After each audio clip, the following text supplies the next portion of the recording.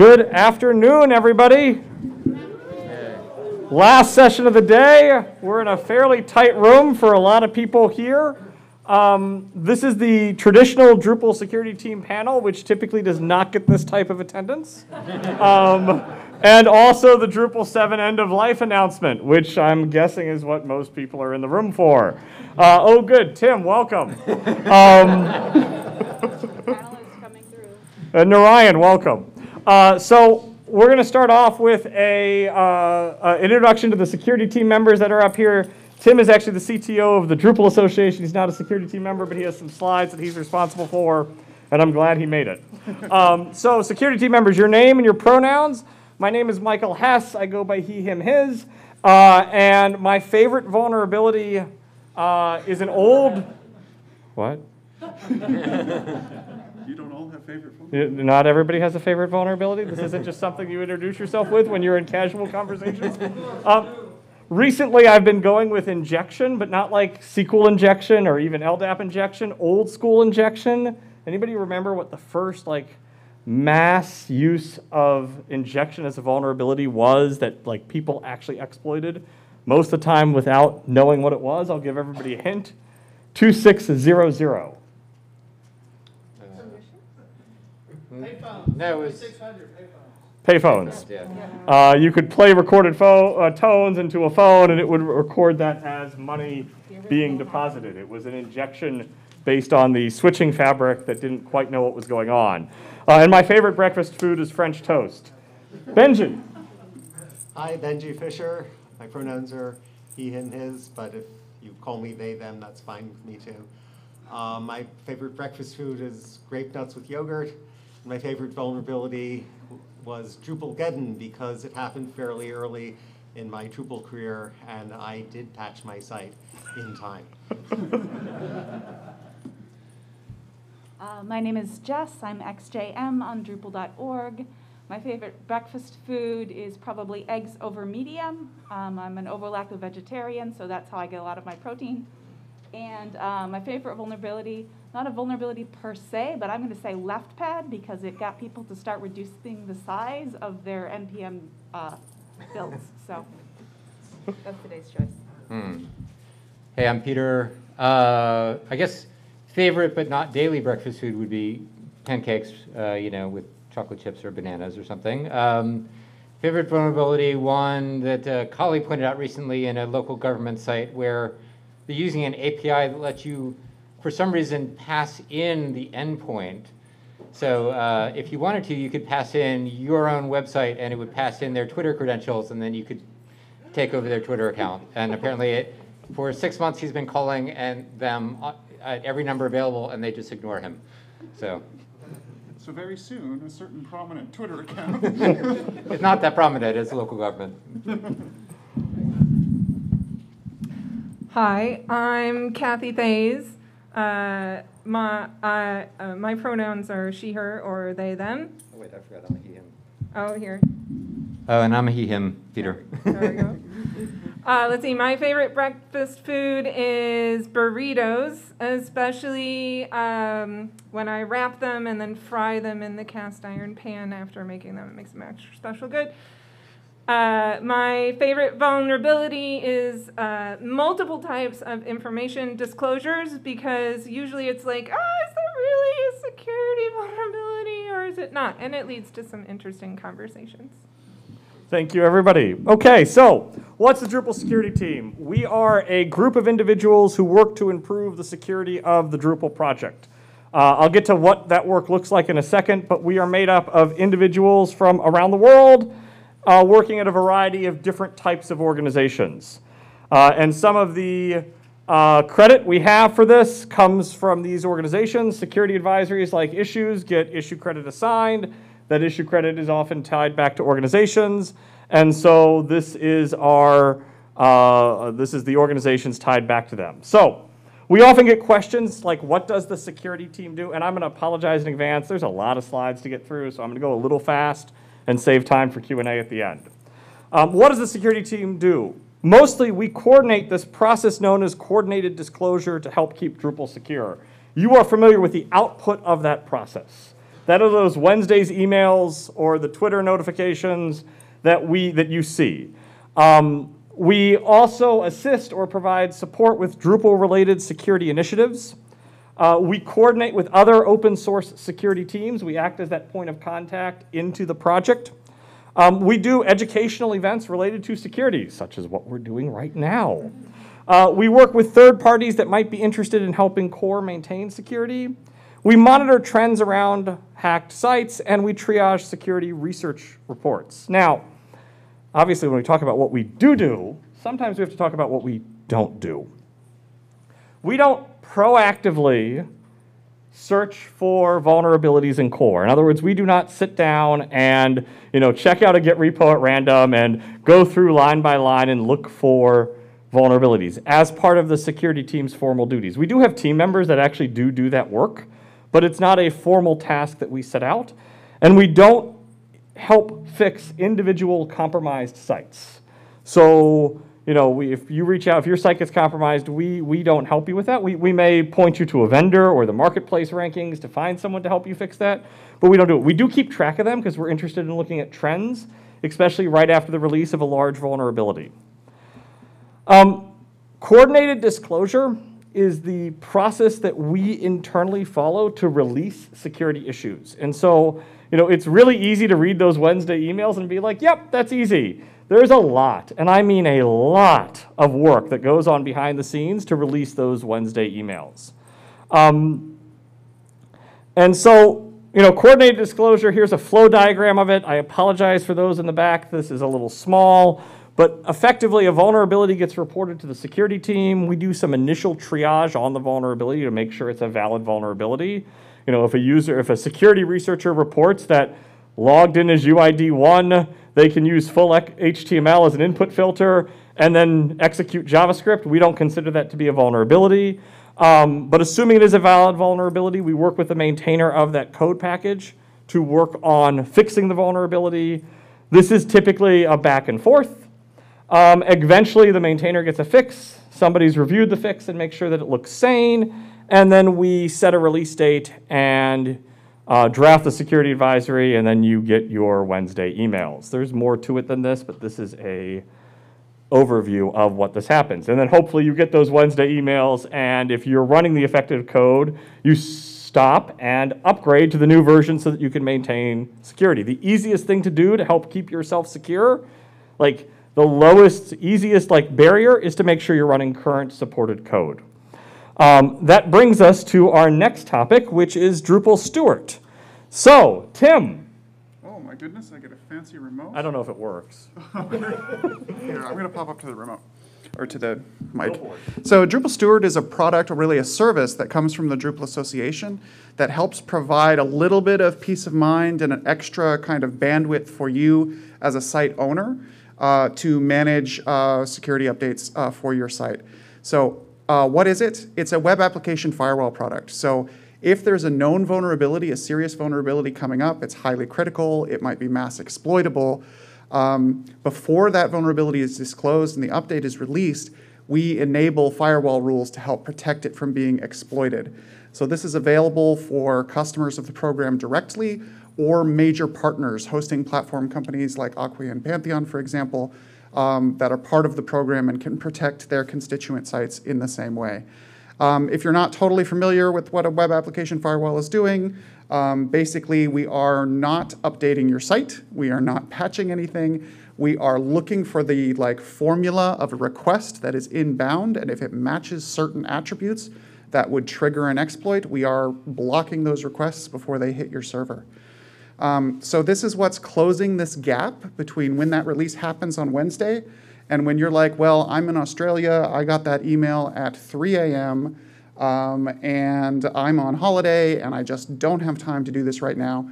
If it's covered by Drupal Steward, you can say, I'm going to choose to do that update at 9 in the morning on my next business day because you're covered in this gap until you update. Um, so this is particularly helpful also if you are at an academic institution, perhaps who manages like a thousand sites, um, and coordinating the update of doing all of those in like a couple of hours is difficult for you.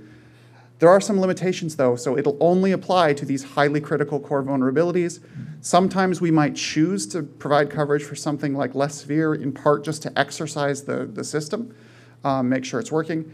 And there also might be kinds of vulnerabilities that just can't be protected using a web application firewall rule. Um, it's also possible that the, the rule the request is blocking might have false positives, might block some legitimate traffic in certain cases, and that's something we look out for. So to run through this very quickly, the way we decide when we deploy this program is the security team identifies as a vulnerability that they think is mass exploitable. Uh, we decide whether it can be mitigated with a WAF, and then in the PSA, we indicate either yes, it will be covered by the Drupal Steward program, or no, it's not something we can cover. Um, from there, we communicate that with our partners, and we try and in, uh, enable those rules in a monitor-only mode before it's disclosed to, in part, tell us, is someone already trying to exploit it that we don't know about? Is this actually a zero day and we don't know? Um, and also to check for false positives. Um, so we review these sort of monitor-only logs, and then prior to the actual release day when the vulnerability becomes public, we enforce those web application firewall rules, and the release goes out as normal. Um, so this is not a gate on the security releases. The code is always free and open source remains free. But this is, again, just an extra tool to allow you to schedule when you're responding to these security issues. Um, it is available in three tiers. You can purchase it directly from the Drupal Association. Um, and there's a revenue sharing program to support the work of the security team. Um, there is a uh, there is pricing for sort of standard and enterprise sizes, so directly from the Drupal Association, from certain hosting partners, uh, and so on. Um, the partners that are involved in this, they have to sponsor a security team member, they have to be supporting partners of the Drupal Association, and they have to be major contributors. Um, so this is not something that's generically available to any web host. It's something where we work with trusted folks who are deeply involved in building and securing Drupal. So with that, I will hand it back to Michael. Thank you, Tim. So I think most of you are up here. We've got two upcoming policy announcements that we are making. This is kind of shared as a preview.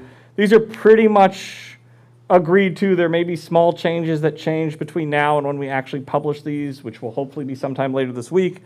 But this is a preview, and while there may be, I don't know, 100 people back there, please don't hold me to this. Um, but it, it, it, they're not going to change much.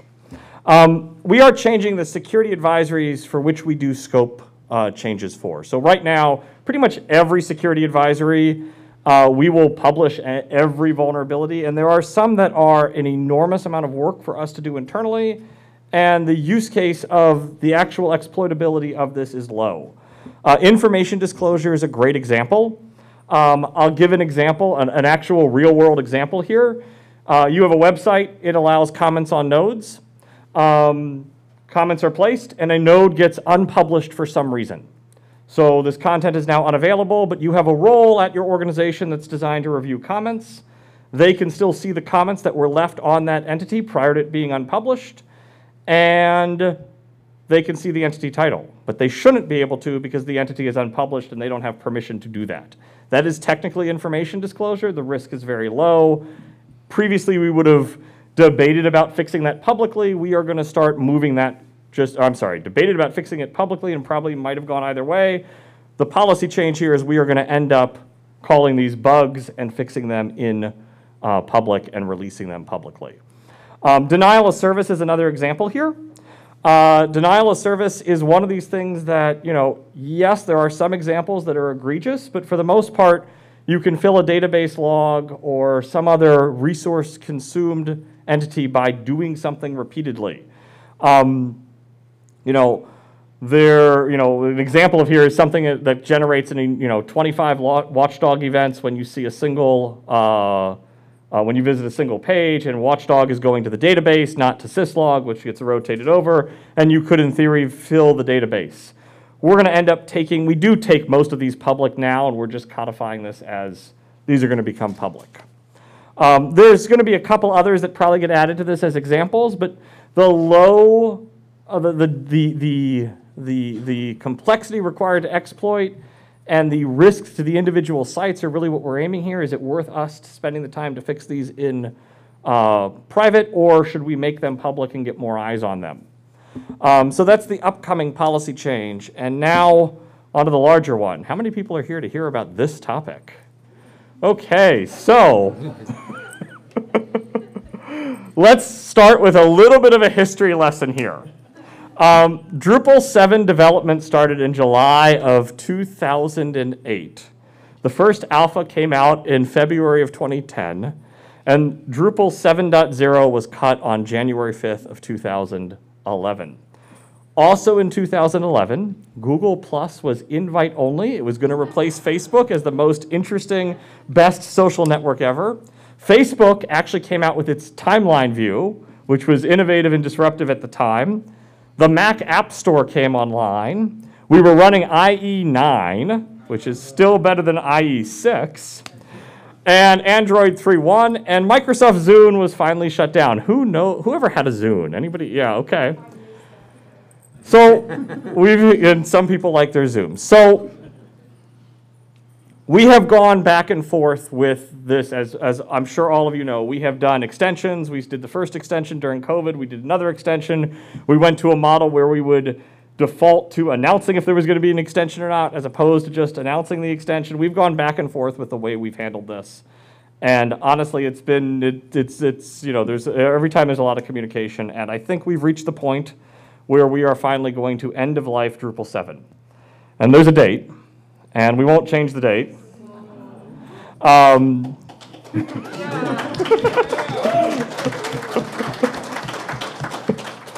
uh, so we are finally going to end of life Drupal 7 on January 5th, 2025. That is effectively a year and two month extension from the previous end of life. The previous end of life, I'm sorry? From the previous extension, yeah. So it was supposed to be ended in 2023. We're bumping it a year and a few months. You'll notice the January 5th date lines up with the birthday of Drupal 7. And so that's, that's not the full reason why we're doing it that way, but that's what, one of the things that, you know, just a nice uh, 14th anniversary, thank you. Um, I'm going to be clear here. There will be no further extensions. This is it. We're done. You're not going to see a PSA from us in July of next year being like, just kidding, everybody, two more years. No, it's over. Um, which means it's time to migrate. It's now time, you know, if you're, if you're an organization like, like mine is, I work for the University of Michigan, oh, it's been extended, we'll just ride out the extension. Oh, it's been extended, we'll ride out the extension. I'm assuming other people have been doing this too, by show of hands? Yeah, so the, the, the train is coming to an end. It is time to migrate. Now, some of you may be facing a lot of work to do this migration. Um, a lot of work and some of you may be dreading that. We have some assistance for this. Uh, I'm going to ask Tim to come back up and talk about it. Yeah, so uh, the Drupal Association is going to try and put together a resource library for all of you folks who are still on Drupal 7, who still have properties to migrate. That includes us. Drupal.org is still largely Drupal 7, so we understand the situation you're in and what you're working to do. Let me make that very clear. Um, a big part of this, in addition to just being a resource library, documentation, materials, is we're going to feature certified migration partners. So these are people who are uh, contributors, partners of the Drupal Association, and who are well qualified to help you with your migration needs, to help you get from Drupal 7 to wherever you need to go.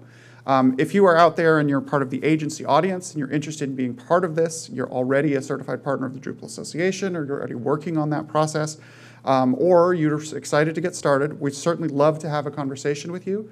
Uh, those partners will be paying a percentage of deal sizes to support the Drupal Association uh, and to support the work of the security team because we need to make it financially responsible and, and feasible to put in the investment in, in making this happen. Um, so if you're interested in becoming a partner, a migration partner, rather than being one of the end users, uh, you can reach out to us at partnerships at association.drupal.org. And if you are one of those Drupal 7 site owners, you can look for this resource library to be published soon on Drupal.org. Um, and uh, we'll be reaching out with communications throughout this 18 month window following DrupalCon uh, that folks have to get to their next solution. And, and I'll add on to this. Um, if you are an agency that is interested in doing site upgrades, please reach out to this email address and become a partner. Um, and if you are a site owner, please consider using one of the agencies that are on this list. It helps the entire ecosystem get better by doing this, so please support us, supporting you by, with the extension, and uh, go through this process. We will end up with some marketing material on this and some pages listing the partners. Um, But in the end, we want you to migrate. Like, that's the bottom line. We're putting this list together to help all of you migrate. We're also putting it together to help us, because there is a revenue sharing here, but you need to migrate. Um, Drupal 7 is closing its doors. Uh, You know, the, um, so go someplace else. Obviously, going to Drupal 10 would be our first choice. Going to another open source content management system is also an option here. Taking your Drupal site and just making it a static website. Um, you know, I know that as I was going through my site audits, I'm looking here and some of these content pages haven't been updated in several years. And it's like I could just turn this into static HTML, software as a service, or taking the site down. Um, which reduces all the technical support that comes with that. Um, there are some upcoming changes to Drupal 7 before end of life. And so as that 18 months is in the future, um, there are some things that we are doing to start changing the ecosystem slightly to encourage end of life. So probably the big one here is unsupported contributed modules. If you go back to that original slide I had where we talked about the coordinated disclosure process, the second step in that process is the security team contacts the module owner and says, hey, is this a valid issue? Work with us. There's a whole escalating thing that happens there where, you know, we ask them, we ask them, we send them emails. We will, if they're working for an agency, sometimes we'll send the agency emails, but eventually if the maintainer doesn't respond, we mark the module itself unsupported. What typically happens is people will come forward and be like, uh, I use this, can, can I be the maintainer? And I use this, can I be the maintainer? And so then we have to go through the process of marking the module not unsupported.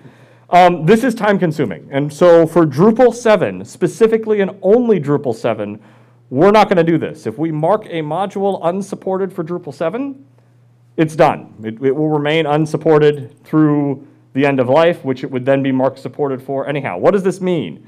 If you want, if you've got a Drupal 7 module that you use heavily in your sites, apply to become the maintainer now. I'll pause for you all to do that. Um, uh, so apply to become the maintainer now, and then you'll be added to that list of people who we contact, and we don't have to go through on unsupporting. It saves us time, it saves you time, it's, it, it's a win for everything. You do not have to maintain Drupal 10 branches. You can apply to be a maintainer solely of the Drupal 7 branches. Um, this policy does not apply to Drupal 10 uh, modules with Drupal 10 or greater than seven releases. Uh, Moderately critical issues in Drupal 7 alone, we will have less support for them, meaning that a non-mass exploitable, moderately critical issue, uh, even if it impacts a future dated version of Drupal, may not get fixed in Drupal 10, depending on how that risk score, I'm sorry, Drupal 7, thank you. depending on how that risk score, uh, how that risk score pans out for Drupal 7. So there may be an instance where we fix something in Drupal 10, and we do not fix it in Drupal 7 based on the differentiating risk scores. Um, PHP and MySQL versions. So, effective July 1, we are only going to issue patches for PHP 5, 6, and above. Um, Drupal 7 supports, I think it's 5.2? Fi- I think it's 5.2, and there's no test bots for 5.2, which is a whole other problem. Um, and so we're gonna we're gonna bump effectively bump the minimum required version for Drupal 7 to PHP 5.6. We may before end of life bump that to a higher version of PHP. I want to point out here that Drupal that PHP 5.6 and PHP 7 are both end of life. And yes, there are vendors who may provide support for them, but they are technically end of life products. Windows support. Windows only security issues will no longer be patched. Um, so if there is a issue that is only an issue on Windows, uh, we, we may not patch it. We, now, Sure, if one of you is very sad. yeah, may, maybe one of you. I do know there are some organizations out there that have requirements against running not Windows operating systems, and that's how you end up hosting a Drupal site on IIS. Um, you, unlike when Drupal first came out, Drupal 7 first came out, we now have Docker. Docker can host your Drupal site on your Windows server, so there are ways around this. Um, as mentioned earlier, Drupal is kind of getting old. There's a lot of third-party libraries out there. Um, a lot of third-party libraries out there that where they may say, hey, we're not going to support this, or yeah, we support this library, but only if you're running PHP 8, which obviously is not a requirement for Drupal 7. So we may end up having to uh, mark some third-party modules as, as, as unsupported based on their dependencies on third-party libraries. Earlier, you heard Tim talk about Drupal Steward. Um, Drupal Steward is, uh, we may post EOL, we may, there, there, it's in bold, may choose to extend Drupal 7 Drupal Steward rules to our Drupal Steward partners. May. That's not a final decision yet, but it's easy enough for us to do it in certain circumstances, and it's, it's quick, but that's a DA and security team decision and likely gets evaluated on the release itself. Now, as of right now, today, there are no vendor support plans after EOL. Uh, so, what's EOL, end of life? Um, running uh, software past its end of life is risky. This is not just Drupal, this applies to all end of life software. I just saw a machine in this building running Windows, I think it was 98, end of life. uh, what happens? The security team no longer provides coordination for end of life. Um, most enterprises won't allow end of life so, uh, systems to run. Security frameworks don't allow it. Uh, within Drupal specifically, what may happen? Well, at some point after end of life, Drupal 7 packaging is not going to work. Uh, the Drupal Association has to maintain all the code that does that packaging work, and it's different than modern versions of Drupal. And so at some point, those operations will stop. Drupal 7.x uh, branches for all projects will be marked unsupported. Uh, Drupal 7 relies on a bunch of XML data sets that is going to go away in more current versions of Drupal. These XML data sets, you know, you probably don't even know they're there for the most part, but Drush relies on them. So if you've ever done Drush DL module name, that is using that XML data set, and that will likely go away sometime after end of life. Um, obviously, the testing infrastructure for Drupal 7 will be shut off. Uh, Drupal 7 is going to probably get, start getting flagged as insecure based on third-party scans. And Drupal 7 issues that are reported to the security team, even highly critical ones, will be made public uh, with or without a fix. And Drupal 7 sites will be made, will be, uh, will display a message that they're insecure. What doesn't change after Drupal 7's end of life? Anything related to Drupal 10. Nothing is going to change related to Drupal 10, 11, etc. And the Git repositories that have that Drupal 7 code, they're not going anywhere. Okay. If you are not in the room and you're watching this on a recording, you can email us questions at security at Drupal.org and we will be happy to answer them. But for all of you who are physically in this room, I got through my slides uh, and we have time for questions and answers. Okay. So um, we don't have a microphone in this room, so I'm going to try my best to uh, repeat the question. Uh, I saw your hand go up first. Yeah, what mechanism will um, the Drupal 7 message saying that uh, the site is insecure, like what, like h- how is that um, implemented? So right now, Wait, repeat the question. I'm sorry, thank you, thank you. Um, so the question was, uh, how will Drupal 7 indicate that it's insecure after end of life? What mechanism is going to be used to do that? And does anybody want to take this? It's all you, Michael. Okay. Um, so right now, Drupal 7, and we did this with Drupal 6. Every time Drupal 7 checks in for updates, it pulls that XML data, and we basically are returning a custom message through that XML data, letting people know that this is unsupported. The way we did it in Drupal 6, which is probably similar to what we did, is we made the update status think there was a version fix, which automatically tells Drupal 7 that it's insecure, and then the link takes you to a page explaining what's going on. To clarify that, that's in the admin interface when you're looking at the sort of status report Yes, for whether thank there you. are currently updates available. It's not like the, a public banner on the top of the front of the site. No, we will not be defacing the public sites. So yeah, it's when you log in with, an- with a, with a privilege that lets you see it. It will not just show up on every Drupal site. Thank you, Tim. Any other questions? Yeah. Um, Is there any advanced reporting inside of Drupal Steward to know how many requests are being blocked, when they're blocked, to analyze its value to our websites? That was a very well-worded question. The question was, uh, is there advanced reporting within Drupal Steward to talk about how many times requests were blocked, what might have been affected? Basically, can we give you back analytics to say how effective the Drupal Steward program was?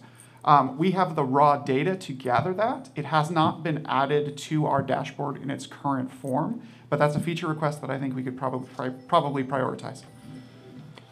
And wait, Tim, also, you don't host all of them. Just also to say, like, if it's hosting partners, Uh, yeah, so that, that's an important distinction, right? Yeah. So um, that would be the case for anybody who's just choosing to purchase uh, Drupal Steward through the DA's program directly. If you're with one of the hosting partners who has coverage, who's partnered with us, any reporting would be based on whatever they can offer. So again, currently those partners are Acquia and Pantheon. So it would be, you'd have to have a conversation with them about whether they can report on that specifically. Um, but if you're purchasing it directly through the DA service, um, that's a feature we can work on for the dashboard. And you can reach out to me directly, and I- I'm happy to have more conversations. Uh, let's go here. Yeah, so when you said uh, there's no vendor support, so, so with Drupal six, there was an extended support program, so is it that there will be no such thing? Correct. Okay. So- s- And so if, um, if an individual or an organization has a patch for a Drupal seven issue, will they still be able to contribute it, uh, to a public Git repository? So let me, let me summarize the question. The question is, will there be extended support like there was for Drupal 6 for Drupal 7? And as of now, there is no, there are no plans to offer extended support for Drupal 7. And the follow-up question was, if someone has a patch, could they contribute it to a public Git repository? Yes, uh, it won't be coordinated by the vendor program that used to support it. So anybody can make a Git repository, clone Drupal, push it there, and designate it as that, but they don't get security team support of here is the repository and you know vendors vetting those patches. But Nor in theory, advisories. oh, please go ahead. Nor security advisories or releases from Drupal.org. Right, so no SAs, no PSAs, no inform, indication in the update status, but you could still post it to an issue, I suppose, as well for the uh, canonical repos, because those repos will still be there. Okay, and so no one will be committing patches? There, the, the question was, uh, will people be committing these patches? And the answer is no.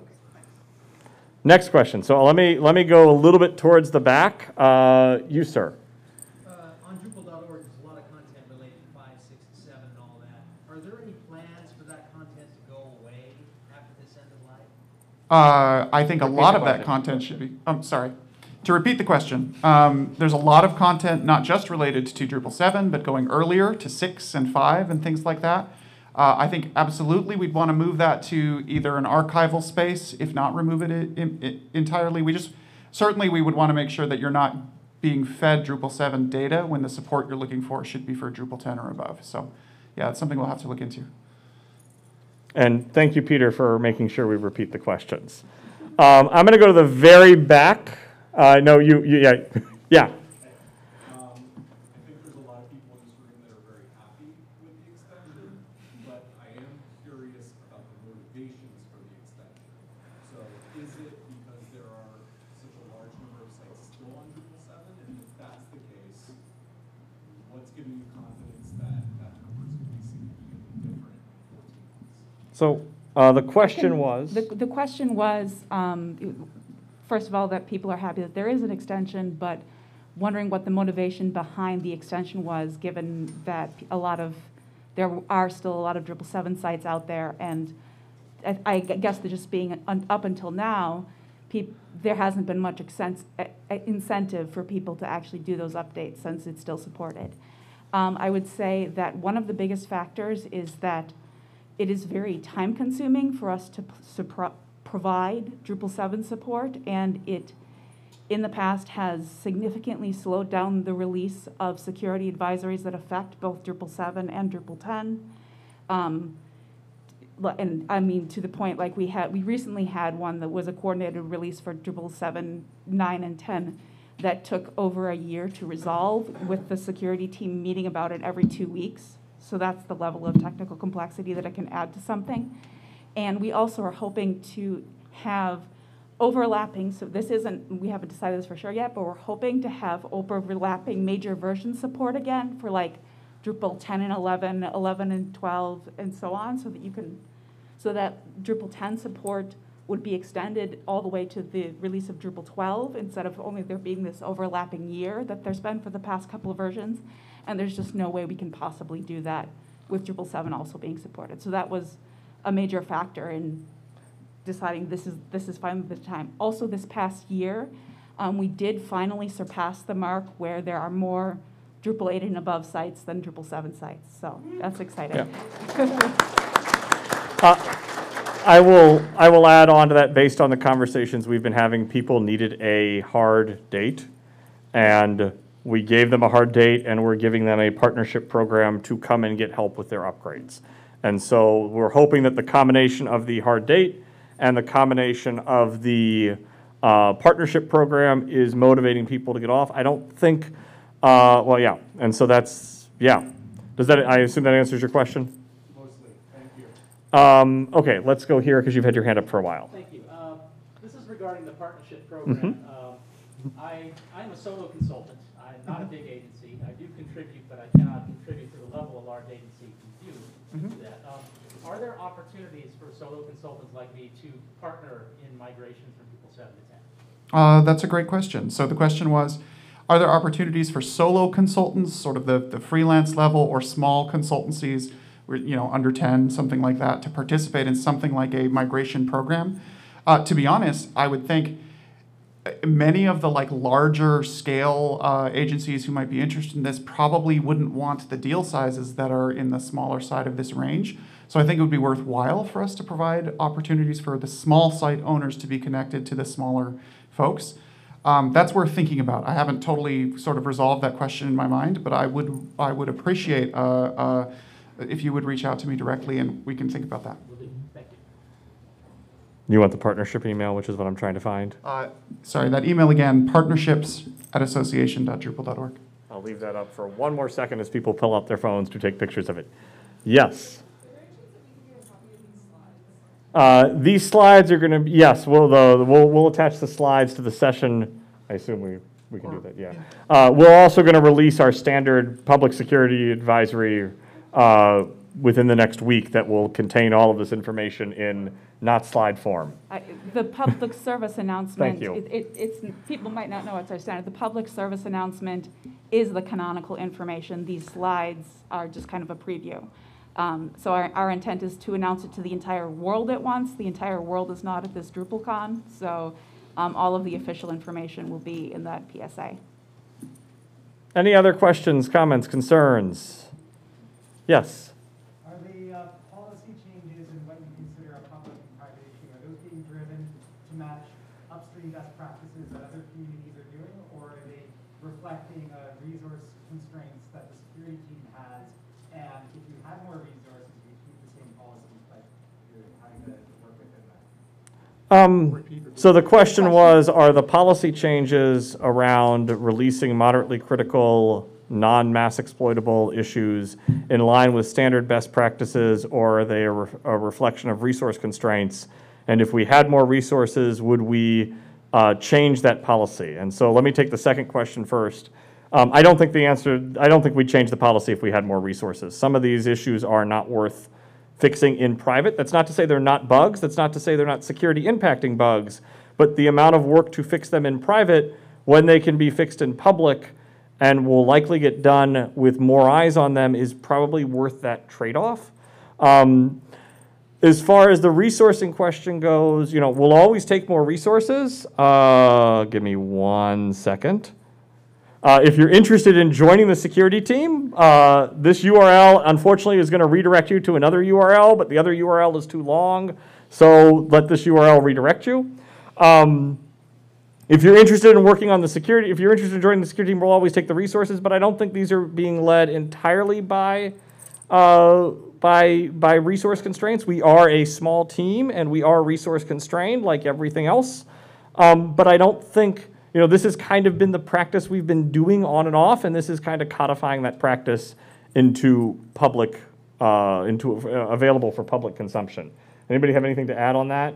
Um, I, I would also add that different organizations and projects have completely varying ranges of what they consider, what they do coordinated disclosure for or not. And there are also organizations and projects that don't practice coordinated disclosure at all. Um, so it's, it, it is kind of up to us. But um, it, I think something that Michael was trying to say that isn't really clear is it's, it's not only a matter of resources for the security team. There are certain kinds of fixes where, like to taking the, the label information disclosure, like we've issued like five or six security advisories for the exact bug in different entity APIs in the past couple of years, just for that thing about the label, the title of an unpublished thing being shown to someone who's already a content editor. So it's, it's, it's very low risk, very not a huge issue. And so we had to keep doing all of these one-off changes for different entity types. Um, whereas in public, we can just add an API that handles the label in a safe way and do it once instead of 18 times. The code will be cleaner, it'll take less time, and um, probably actually be done faster as well. I will say that when we talk with our, our peer open source organizations about what the security team does, most of the time there's just this look of shock on their face because we are we take on a lot more than most of the other organizations do, including all of ContribSpace uh, that have opted into coverage. But most open source projects don't take on ContribSpace to the amount we do, and most won't publish things for bugs in which it requires an elevated role to have access to to see the information. Um, obviously, if an elevated role that shouldn't be able to change the information can change the information, that's a different story. But this is, you know, seeing that there's a field that exists even though you don't have access to see the content of the field and you're only seeing the label. Like, there's a lot of things where it's like, oh, that that's a security bug, and yeah, it is or it was. Um, any other questions, comments, concerns, thoughts? It's very quiet in here. Just thanks, because y'all have made our lives. Thank you, thank you.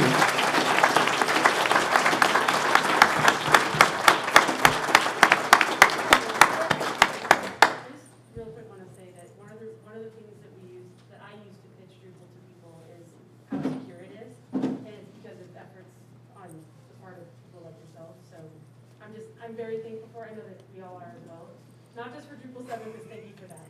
But also, just, I mean, we're, we're very grateful to you. We know there's so much that you do behind the scenes to protect all of us and to protect all these sites. So thank you very much for everything. Thank you for your kind words. To Uh, repeat the thanks.